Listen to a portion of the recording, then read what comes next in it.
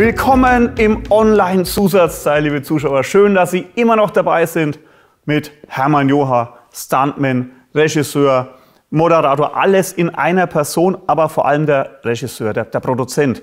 Der interessiert mich jetzt mal.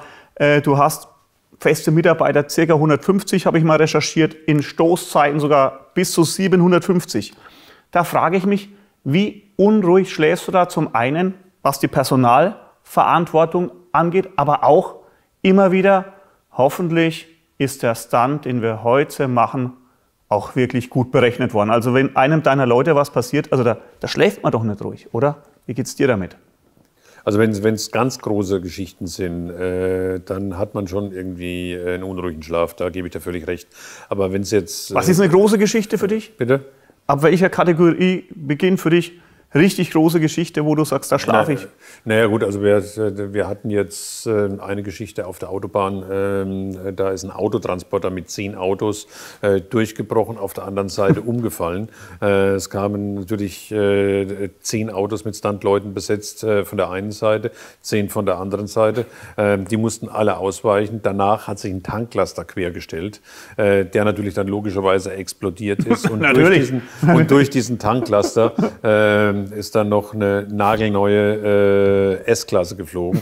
ähm, also wir, wir, wir, bekommen ja von den äh, Herstellern ähm, für ganz bestimmte Stunts Fahrzeuge zu, äh, zur Verfügung gestellt. Ähm, und, ist dann klar, das muss ein One-Taker werden. Da hast du keine drei Versuche für so ein Ding. Nee, also das, das muss dann wirklich klappen. Also wenn es dann nicht klappt, dann ähm, äh, whatever you hit, tell it's a target.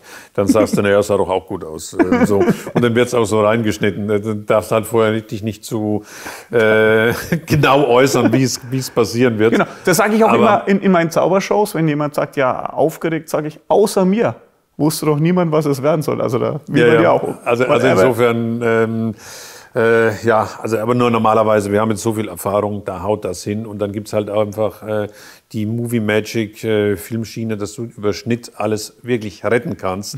Das ist also was mal auf, das sollte ja nicht so aussehen, ähm, sieht jetzt alles ganz anders aus. Äh, wie lösen wir das Problem? Dann steht der Stunt-Koordinator, der Regisseur, ähm, der, der, die Regieassistenz äh, und gegebenenfalls der Produzent zusammen und dann sagen, okay, dann lösen wir das einfach anders auf und es ähm, ist wirklich schon zigmal passiert, dass hinterher dann sogar noch besser aussah. Ja. Äh, wie, wie, das, wie, wie, wie wir es uns eigentlich überlegt hatten.